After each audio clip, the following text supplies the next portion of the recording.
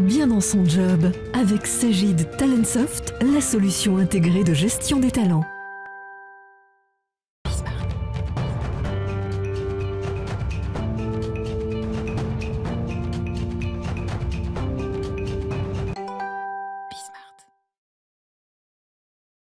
Dans son job et on parle de, l'inclusion. Alors c'est un mot un peu valise euh, qu'on utilise beaucoup, beaucoup, beaucoup en ce moment. On va essayer de, lui donner une définition peut-être un peu plus précise et où en sont justement les, les entreprises à propos de cette inclusion? Damien Dumas, merci d'être avec nous.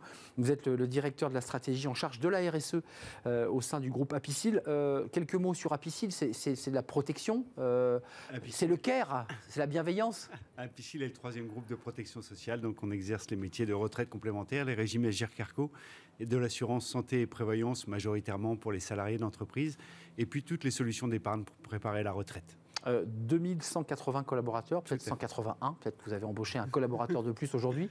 Il euh, y, a cette volonté de, vous pencher très sérieusement sur ce mot inclusion, et puis bah, vous vous êtes penché à travers ce, baromètre euh, réalisé par Opinionway. D'abord, commençons par le début. on voit que la définition du mot inclusion, même si le handicap parmi les personnes interrogées arrive en tête. Il y a plein d'autres définitions données euh, par les Français interrogés hein, de ce mot inclusion.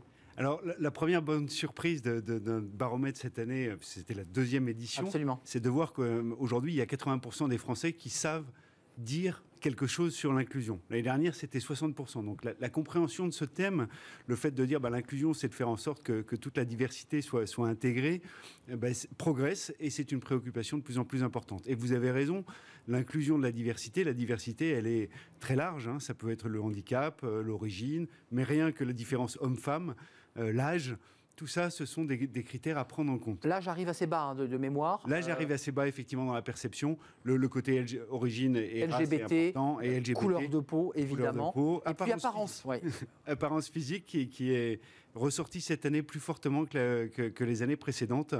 Je, pense qu'il correspond à aussi des, regards de la société un peu différents. Euh, alors, ce qui est intéressant aussi dans, cette, euh, dans ce sondage, qui est un baromètre, il y a 84% des Français interrogés, donc qui sont sûrement des salariés ou des chefs d'entreprise d'ailleurs, estiment que les entreprises ont un rôle à jouer pour faire progresser l'inclusion de la société.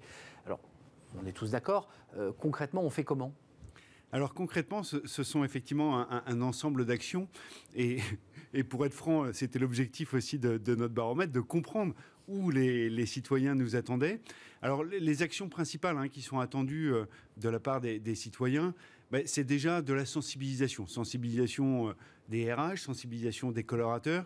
Et je pense que ça, c'est essentiel parce que on a naturellement tendance à prendre des gens qui sont comme nous dans les processus de recrutement. Et, concrètement, euh, avoir cette sensibilisation, cette compréhension des préjugés qu'on peut avoir euh, systématiques ou des présupposés qu'on a systématiques et de savoir passer au-delà pour intégrer la diversité, c'est un élément important. Donc, éviter les biais éviter les biais. On a vu ces chiffres-là apparaître à, l'écran sur le, recrutement, parce que avant d'être en charge de la, de la, stratégie RSE, vous étiez en charge de la gestion santé-prévoyance au sein du groupe, donc vous avez aussi une, vue panoramique sur ce qui se passe dans, cette grande entreprise. 56% des jeunes actifs considèrent que la politique d'inclusion de l'entreprise est un critère de choix au moment de postuler. De, Apicil euh, lance ce baromètre pour la deuxième année, c'est aussi de la marque employeur, quand une entreprise est capable d'intégrer tout le monde. Et les différences, parce que c'est ça l'enjeu. Oui.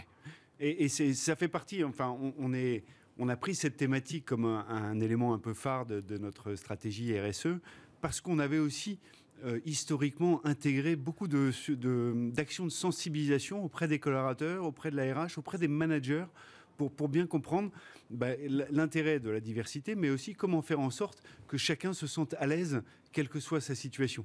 Donc des grandes campagnes de communication en interne avec toutes les typologies de diversité pour montrer que c'était important de, passer au-delà des, effectivement des, préjugés. Et puis deuxième chiffre que vous avez vu euh, apparaître, 57% des salariés déclarent que leur organisation est engagée en matière d'inclusion, ce qui veut dire que 43% d'entre eux n'ont rien vu venir dans leur entreprise lorsqu'il est question d'inclusion. Euh, là, je, me tourne vers vous parce que Apicil décide de lancer ce baromètre, de, vraiment faire une campagne de fond pour creuser cette question, sa définition. Comment on fait quand on est en charge de la RSE dans une entreprise de 2000 salariés euh, pour convaincre le COMEX, les managers pour... Comment on fait très concrètement?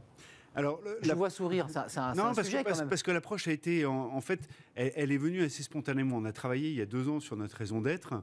On a, on a sorti notre raison d'être par une relation proche et attentionnée, soutenir toutes les vies, toute la vie. Et après, on, est un groupe de protection sociale, donc qui n'a pas d'actionnaire à rémunérer, qui est là pour servir la société. Mais finalement, on s'est dit, ben, avec cette raison d'être, c'est peut-être le moyen de clarifier dans quel domaine, sur quel axe précis nous souhaitons avoir un rôle. Et soutenir toutes les vies, toute la vie, c'est ne laisser personne de côté, donc intégrer toute la diversité prendre en charge tout particulièrement les vulnérabilités. Et c'est ainsi qu'on est arrivé à ce thème de, l'inclusion, qui en plus rebondissait hein, sur une politique RH qui avait été portée par, par, nos DRH depuis de nombreuses années. Et donc on s'est dit, bah, là-dessus, on a un rôle à jouer au-delà de nos métiers.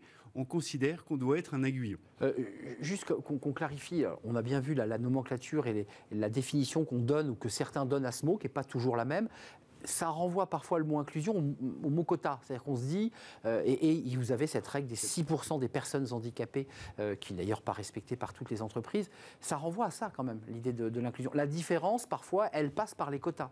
Alors, c'est ce que j'appelle moi la proactivité, hmm. une, politique proactive. Je pense que sur, le handicap, c'est absolument incontournable euh, parce que bah, c'est quand même un engagement de la part de l'entreprise. Hein. il, faut, il faut y mettre des moyens, de la sensibilisation, mais aussi parfois des, moyens matériels ou de l'accompagnement, des adaptations de postes. Donc, il faut qu'il y ait une vraie politique de proactivité, parce que sinon, on, va rester à dire à chaque fois, bah, c'est pas possible. Euh, donc, ça, c'est ce qui est vrai pour le handicap. Je pense que ça a été aussi par les quotas euh, sur hommes-femmes, hein, l'égalité mmh, hommes-femmes, c'est un élément important. Conseil d'administration et maintenant dans les COMEX. Et maintenant hein, dans les COMEX, tout à fait, dans, les, dans, les cadres dirigeants. Et, et je pense que c'est des mesures qui, quand même, incite les entreprises à bouger. Et, déjà, on voit dans, le sondage que 75% des salariés disent question handicap, mon entreprise, elle fait quoi? Elle fait le minimum réglementaire, elle ne va pas au-delà. Donc, euh, donc si on n'avait pas ça, finalement, ça veut dire qu'il n'y aurait que 25% qui agiraient. Donc ça veut dire aussi qu'à la fois ce baromètre, le sondage et, l'attitude des salariés aiguillonnent aussi les stratégies d'entreprise. Mmh. Euh, ils sont tous ambassadeurs de leur entreprise et ça aide, j'imagine, certaines entreprises à, progresser sur ce, sur ce chemin. Euh, les atouts selon les salariés, toujours issus de votre baromètre euh, OpinionWay, Apicil, 71% considèrent que l'inclusion est une richesse. 63% que l'inclusion est un facteur de performance et enfin 62% euh, que l'inclusion est un facteur d'innovation. Euh, la richesse, d'accord euh, La performance, expliquez-nous. Eh ben, je pense que c'est la capacité à regarder les choses différemment. Quand je disais tout à l'heure, on a tendance à recruter des gens pareils que nous. Bah, les gens pareils que nous, ils pensent comme nous. Et, et finalement, se laisser interpellé par un regard différent, c'est une première source de, richesse parce qu'on va regarder, euh, on va avoir un regard plus large sur chacune des problématiques. Donc ça nous fait grandir en quelque sorte. ça nous fait grandir, ça nous permet d'élargir la pensée. Et qui renvoie au facteur d'innovation. Oui. oui. Euh, c'est quoi l'idée? C'est que la différence crée de la richesse et donc euh, on est plus créatif, on est plus innovant? Oui encore une fois, on, va avoir des solutions proposées qui vont être différentes en fonction des, histoires, des particularités de chacun. Et donc, on va avoir un panorama de solutions qui va être plus large. Euh, comment vous faites, vous, euh, dans votre quotidien en charge de la RSE, parce que c'est un poste important chez Apicil. Euh, il y a des baromètres, des études internes. Vous, vous posez la question, vous mettez le thermomètre dans des moments réguliers. Comment on fait pour sentir ça, que les salariés se sentent bien, qu'ils trouvent que votre politique est en phase? Comment ça se passe ça? Alors on a, on a un baromètre assez classique, le Great Place to Work, mais nous sommes en train de travailler avec d'autres entreprises de, de, notre territoire justement pour essayer d'aller percevoir euh, quel est le sentiment, le ressenti des collaborateurs en termes d'inclusion ah et de diversité dans l'entreprise? Alors il y a des questions qui sont faciles à poser, hein, si on veut faire un constat, combien de handicapés, égalité homme-femme? Il y en a d'autres où c'est beaucoup plus compliqué. Est-ce que les LGBT sont bien inclus dans l'entreprise? Ben, C'est la liberté de chacun. C'est la liberté de chacun, on ne doit pas le savoir. Donc on va aller sur des questions euh, en termes de, ressenti des collaborateurs. Est-ce que vous euh, pensez que l'entreprise est accueillante par rapport à cette population C'est en cours, vous avez déjà quelques chiffres? Non, alors c'est en cours. On, on, le fait ensemble et on, le fait à plusieurs entreprises pour pouvoir se comparer les unes aux autres. Hmm. Après, il y a d'autres actions. Hein. Nous, on, a des rôles modèles en termes de LGBT. Notre, directeur général et notre DRH étaient l'année dernière rôle modèle. Cette année, c'est notre directeur des, affaires sociales. Rôle modèle, c'est. Alors, rôle modèle, c'est euh, bah, je, je, suis euh, favorable et j'affirme euh, publiquement le fait hmm. que je suis pour avoir euh, des euh, LGBT au sein de mon entreprise, soit parce que je le suis moi-même, soit parce que je le supporte. Hein. donc, euh, entre les différentes personnes que je vous ai Donc, j'accepte la différence. J'accepte la différence et, je l'affiche. Et je l'affiche. Et je l'affiche. C'est un peu dire donner un exemple à d'autres personnes dans cette même situation, de dire, bah, tu as le droit de le dire, tu peux le dire. Regarde, le DRH, il s'affirme comme LGBT euh, et, ça ne lui pose aucun souci. Juste ce, mot, on l'a peu entendu sur ce plateau dans Smart Job, rôle moteur, ça veut dire quoi? C'est un communiqué Rôle modèle. rôle modèle, on fait une visio devant son iPhone. Comment on fait pour le dire? On le dit en réunion publique, on, fait une annonce publique, comment ça marche? Alors, c'est un ensemble d'entreprises qui, se regroupent et qui, qui affichent ces rôles modèles. Et oui, c'est publié, il y a une tribune, alors je ne sais plus dans quel journal, mais avec euh, bah, toutes les entreprises qui s'associent à ça et qui euh, apportent chacun au sein de son entreprise ses rôles modèles. Euh, merci d'être venu nous rendre visite avec sous le bras votre euh, étude Opinionway. Et puis peut-être vous viendrez nous reparler, Damien Dumas, bah, de, ces travaux que vous faites pour faire un petit peu avancer, pour essayer de sentir au plus près le ressenti des 2000, presque 200 collaborateurs de, chez Apicil, troisième groupe de, prévoyance. merci de nous avoir rendu visite, Damien Dumas, en charge de la stratégie RSE au sein du, groupe Apicil bah, depuis quoi, 2019 Oui. C'est ça, je ne dis pas de bêtises. Merci Damien, merci de nous avoir rendu visite une petite pause café, ça arrive aussi chez Apicil. Pause café avec Caroline Ricross, évidemment, qui va nous parler du, du recrutement. C'est tout de suite.